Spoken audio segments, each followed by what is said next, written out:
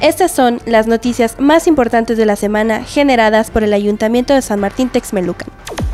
El arzobispo de Puebla, Víctor Sánchez Espinosa, ofició el pasado sábado la misa conmemorativa del centenario del mercado Domingo Arenas, acompañado del presidente municipal, Rafael Núñez Ramírez, quien calificó la celebración como histórica. Los poco más de 650 locatarios iniciaron los festejos desde el pasado viernes 17 de noviembre con actividades recreativas, artísticas y culturales en las instalaciones e inmediaciones del inmueble, que desde este momento cuentan con 10 portones nuevos que resguardan y embellecen el mismo.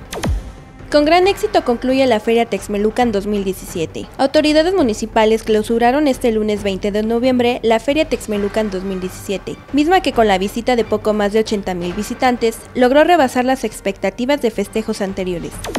El presidente municipal Rafael Núñez Ramírez hizo entrega el pasado viernes 17 de noviembre reconocimiento a 44 texmeluquenses que han sido ejemplo de lucha, perseverancia, disciplina y forma honesta de vivir.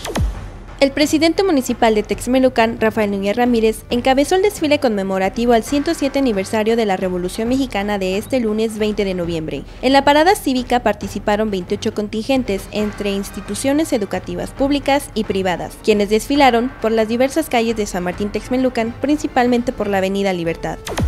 El Ayuntamiento de Texmelucan, a través de la Comisión de Industria, Comercio y Fomento Económico, en coordinación de la Dirección de Mejora Regulatoria, esperan regularizar 8.500 comercios de los poco más de 10.700 establecidos en el municipio con el impulso del programa de simplificación administrativa, mismo que incentiva la regularización del comercio en giros de bajo riesgo.